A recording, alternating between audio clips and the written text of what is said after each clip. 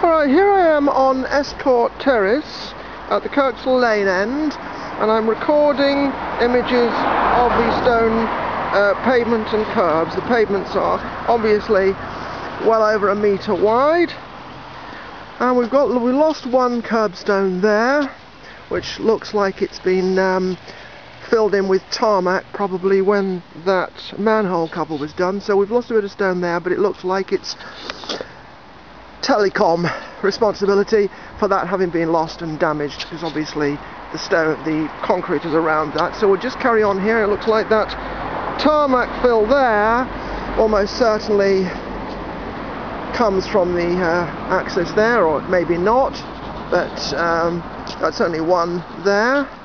Okay, so we've got one cracked, chipped paving stone. The rest are all perfect. There we go. Now, maybe a few injured curbstones, but look at the state of the road, eh? Funny that the the cobbles, the cobblestones are surviving better than a lot of the new stuff. Right, here we have it. Okay, when we get past beyond the end of the road, and we're up here, well, virtually all the paving slabs are perfect. Virtually all of them. There's a few damaged curbstones. Okay, we've got a damaged one, two damaged paving stones there. This is the pavement which apparently 30 residents wanted to get rid of. Okay, so we'll go on to the next one now. And, uh, that's that's all good. You can see that. That's all good. Down here, one's uh, what do they call it? Uh, layered. Uh, and then the rest, pretty good, pretty good. Slightly flaked, couple of few curbstones here, but the pavement the paving stones, the slabs themselves, are all nearly perfect. And we have to remember these have been here since probably the 1920s. And also, there have been something like 400 um, curbstones lifted from a nearby street, which um, was apparently going to be used to uh, restore this street, which I was told last year, and now the uh, Highways Department wants to uh, get rid of this whole street. It's rather dirty, but that's not the fault of the paving stones. So here we have it.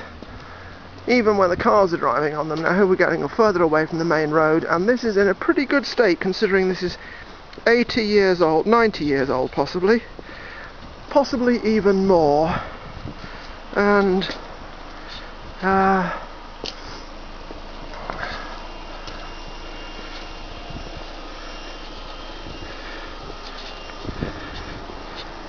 a very high percentage of near perfect stones here. A few broken ones uh, which if absolutely had to be could be filled in with tarmac. And uh, it's a pity that uh, students leave this place in such a poor state with the rubbish and filth around. But considering some of these stones will have been lifted up several times for a number of works 18 years ago there was a lot of work done by cabling. Presumably there's been waterworks over the years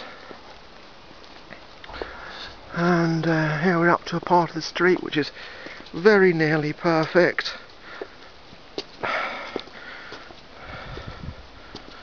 There we go.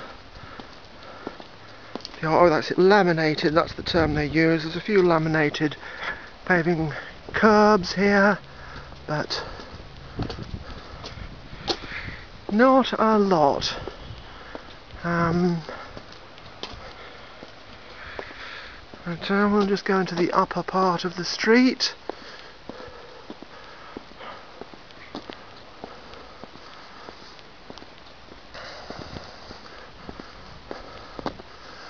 Here, unfortunately, see the grass verge has been taken out, but the curbs are all in good condition.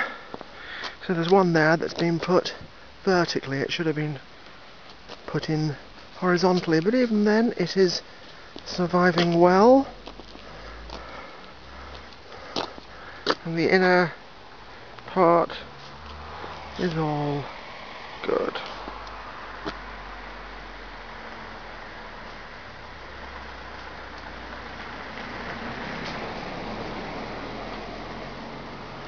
Right, uh, here we go. Here we go. These, these curbstones along here seem to be all in perfect condition. Don't seem to be any damage here. And you can also see that the cobble setts are also fine. Okay, here we go. Some more. There we go. Curbstones. Curbstones are all fine here. Cobble setts.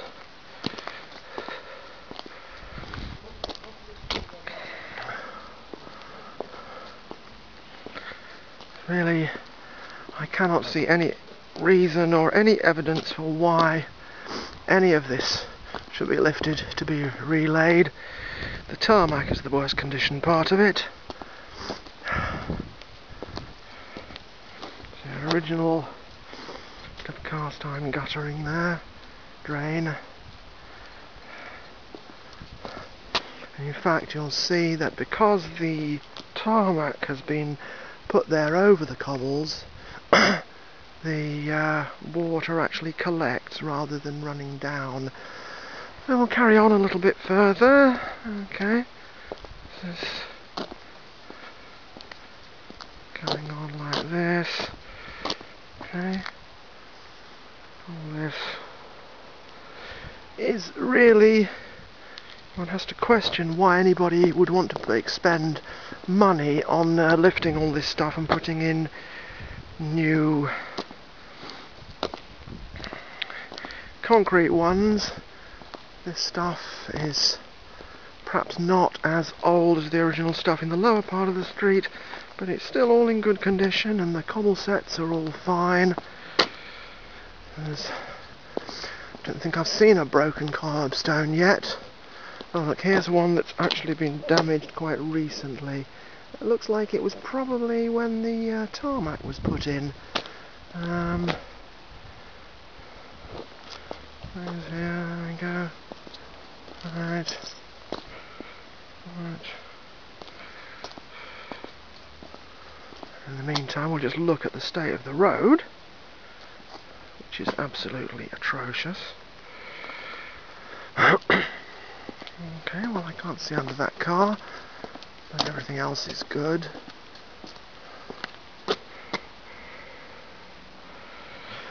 Okay, back to the cobbles. Yeah, seems to have been some re-tarmacking going on. Not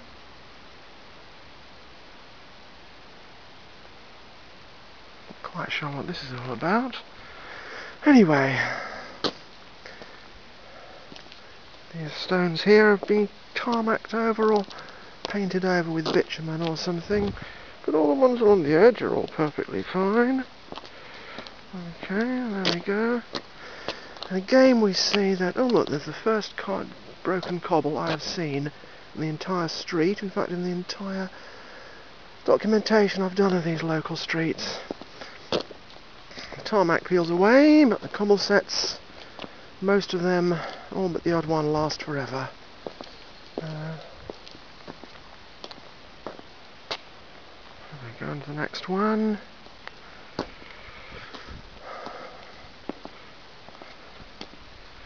Pity about the loss of the curb and loss of the grass verge. But anyway, these are all in very perfect near condition.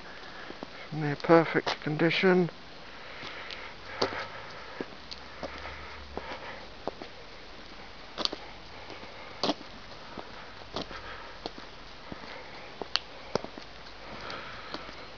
hard to see why anybody would want to take these out unless they wanted to uh,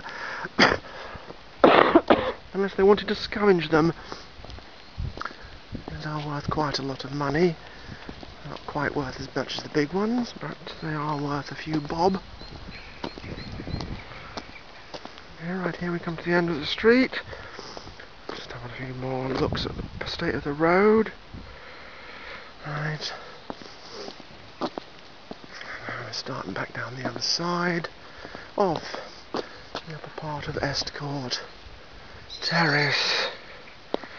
There we go. Right, these are all certainly one would wonder at anybody who would want to take out all these because we're past a crack but down there there we go all, all the cobbles again they're in good condition pity that the cars will drive over them but anyway uh, so let's have a look okay well, cobbles there we go well what the council like to do is they like to tarmac over the cobbles so that next time the tarmac goes they can strip out the cobbles because this tarmac is obviously surviving rather less well than the cobbles themselves. So here we have it. Right, there's another very nice piece of original cast iron there. Cobbles and all this. There we go.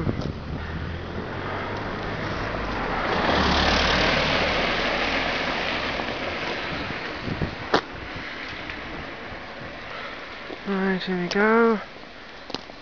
These aren't the super valuable ones, but I bet they're worth a few bob. These small ones along the side, they're all nigh on perfect. The ones on the curb are all very sound. Be nice if they occasionally pointed them in. Mm, there we go. More cobbles.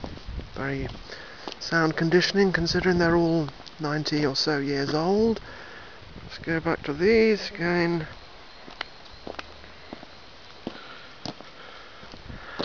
Well, I haven't seen anything that I would say was worth uh, stripping out these stone curbs for, um, but I've seen plenty of tarmac that uh, needs replacing. Okay, so here we go back down a bit further. There's another very nice uh, drain cover. It's a pity that they aren't all kept as clean as that. I've seen plenty of curbs near, uh, gutters near here that are overflowing with water because they aren't kept clear even when they're redone. Okay, here we have more of the cobble setts. Kind of hard to know why it's necessary why it's thought necessary to take all this stuff out. Well look, it's the first one I've seen there, one missing. And it might even not be missing, I think it's actually just been tarmacked over. You know, by the looks of things you can see the ridge that it's tarmacked over. So it's still there. So here we go, more. Right. These are all intact and uh, as are these cobbles. We're bound to the lower part of the street now where you can see that these are all quite nicely quite good condition actually. Again here we go. Not seeing any broken curbs or any of the inner curb here.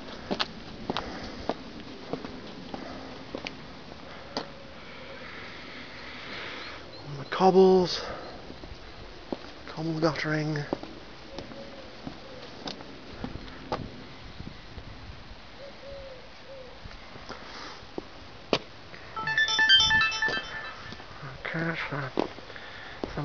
Calling me to liaise. I'll just finish this job here. Right. Well, we're not seeing anything. My associate will be down shortly to meet me. There we go. Well, not really seeing a lot of evidence that uh, we should go stripping these out and spending lots of money on resurfacing the whole place. Again, you see the tarmac. The tarmac doesn't last, but the cobbles and the stone edging. I'm not sure how old these houses are. It's probably 1930s or something. Um, carry on.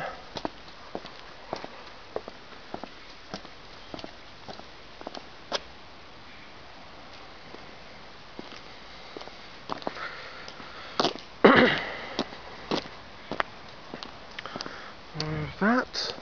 And then we'll go and look at the state of this. Right. But you can be sure that they'll be doing the pavements before they do this bit of road.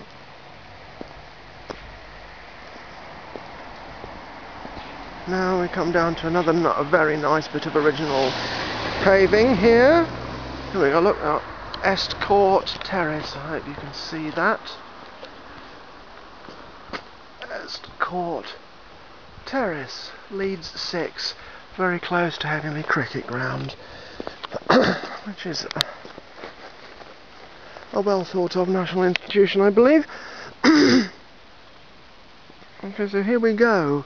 Right, and I think this bit is really, really good condition, apart from the uh, student rubbish. Uh, the only uh, thing I can see with this is that some of them aren't quite straight. And the council seem to think that, oh look, we've got a cracked one there. But I've seen plenty in conservation areas where cracks are either just pointed in or actually they're too narrow to point, so they're just left as it is like that. It's no reason to see why you should strip out an entire pavement for the odd cracked slab. Uh, what have we got here then? Let's keep on going down. There's a bit of work there you see that's been done. You can see that one, that row there has been taken out and pointed in by the uh, street lamp people. One does wonder why the street lamps are put away from the curb when on the in different positions it's sometimes uh, they should really be close to the curb so that it gives more light to the road. Also, it would be nice if the uh, Highways Department actually thought about pointing and maintaining these flags here. Got some very nicely well kept flags here. Remember that these are approximately 90 years old. So we've got a few chipped and broken ones there as curbs that could easily be filled in with cement um, keep on going down here. Very, very minor damage to these. Very, very minor damage.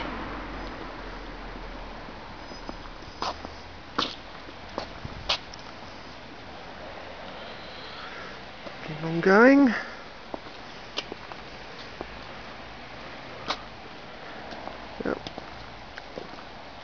Remember that uh, three to four hundred of the curbstones were lifted out from a street here, just about three or four streets away, the Langdale Gardens, I think it was, back Langdale Terrace, and um, council officer has told me there is no, they have a stock of curbstones, so should not be any problem if they are seriously worried about the condition of some of these curbstones, which I think is not really a huge big issue. Um, this is not a through road. There's very little traffic.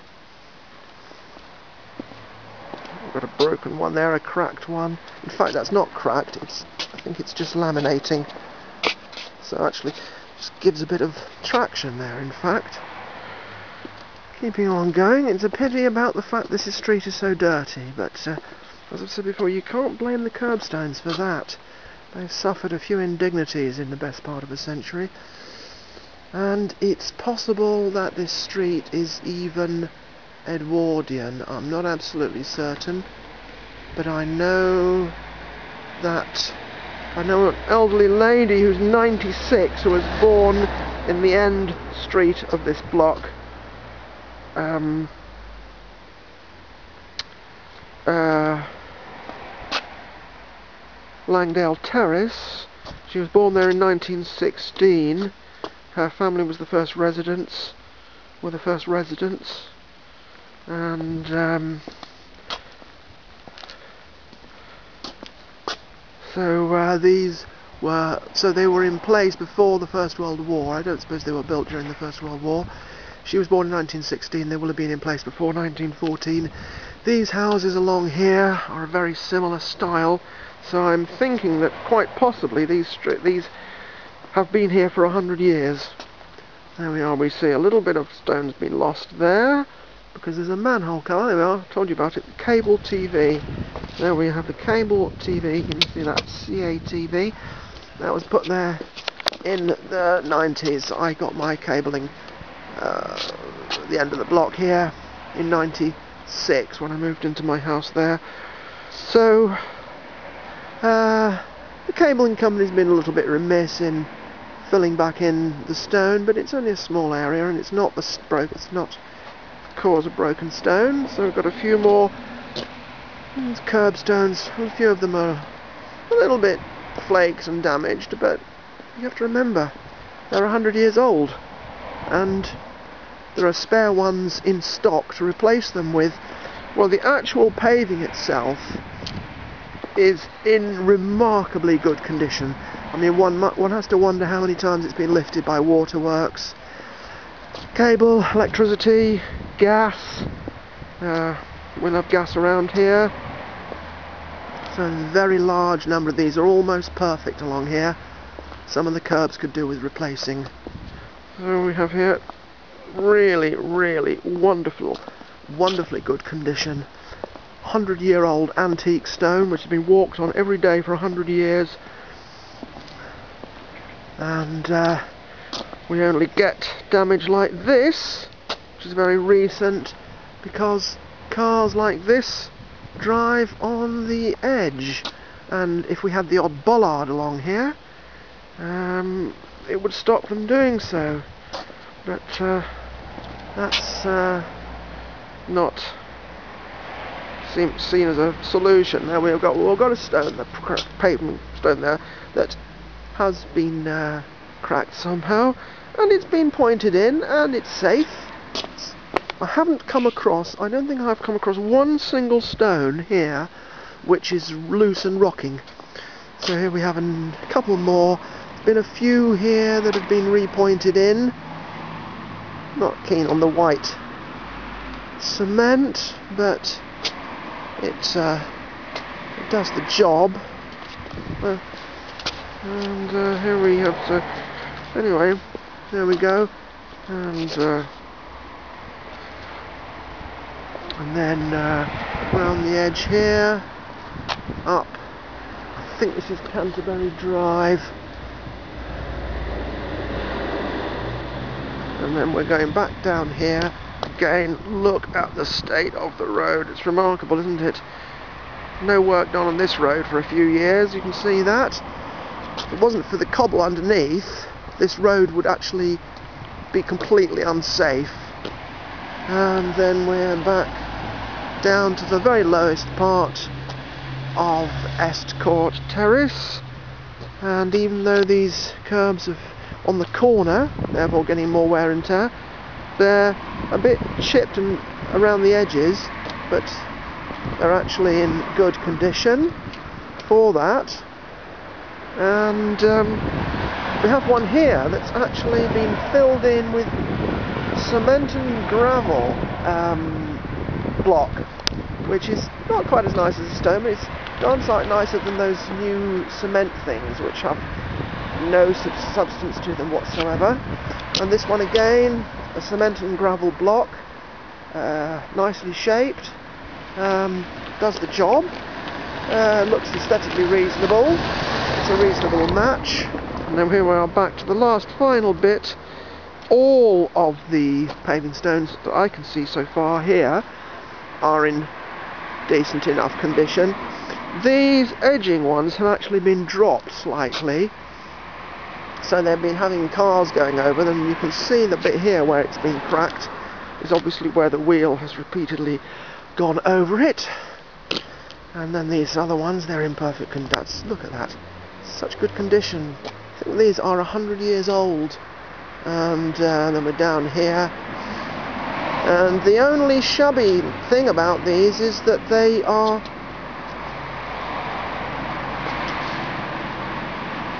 there's just so much filth and dirt around them and the, the, and the pointing is old. Look at this pointing it's falling apart. It's not doesn't look like it was very good very good pointing in the first place. So we're back down. There's more here new uh, new uh, manhole covers. Uh, that's not sure what that is. Water. Oh yes here we have where some more of those uh, cement and gravel curbstones have been put in. Uh, which is not an ideal solution but uh, they are of a substance. They're wide and they're thick and uh, they're durable and uh, they fill in the gaps alright and we come here to the lower part of the street where everyone towards the end uh, except for a couple towards right by the post box are in nigh on perfect condition and that's been pointed in shouldn't be seen as a problem I don't think if it's well pointed. And there we have post box. And here we have the last few. Got some uh, that's the stone. There we are stone stone. Very nice very nice piece of work these and then we just have the last four are gravel and cement. Then a very last, last little little thing to notice here is that the new cast iron grating has been put in when on the other side one has to notice that the original one is still in place and the original ones are much more substantial. Um, there's obviously an original piece, perhaps 100 years old, and um, the other one, well, it's much a lighter grade. You see how thick that is. And these much, much lighter weight. Uh, uh, so here we are, Estcourt Terrace. Proud remnant of uh, probably the Edwardian age. There we are, just so you can be absolutely certain where I am. There we are, Estcourt Terrace. Well, I hope you found that interesting. Let's give you a look at this. Look at those lovely paving stones along this section. Just remember, absolutely wonderful condition pavement and the council want to take it away because a few local residents would prefer to have tarmac which I find extremely questionable. So uh, there we go Estcourt Terrace. Um, so uh, I'm going to be putting this up on YouTube and we'll be seeing what the answer to this is. Um, apparently, um, council want to take out all this stone, and one has to ask, before I turn it off, one has to ask, how much is all this stone going to be worth when it's lifted up? Um, that is a very important question we have to ask.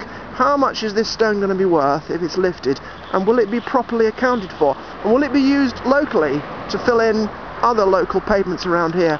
Or will it disappear into the accounting black hole? It seems to be um, the uh, fate of much of the stone that disappears from our streets in Headingley and throughout Leeds?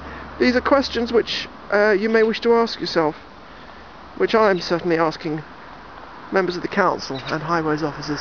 Okay, thank you. I'll be having some more of this later.